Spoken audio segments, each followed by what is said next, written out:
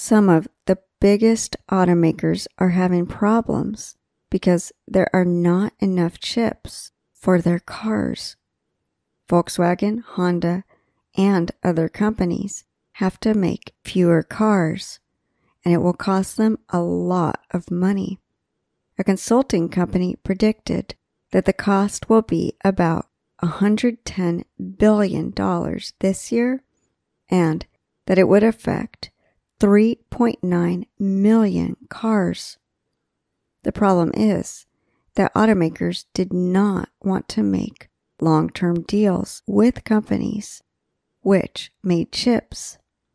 Automakers were afraid that they would have financial problems.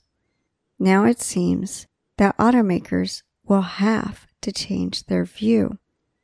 Some automakers are making changes and they will use chips which are not so difficult to buy.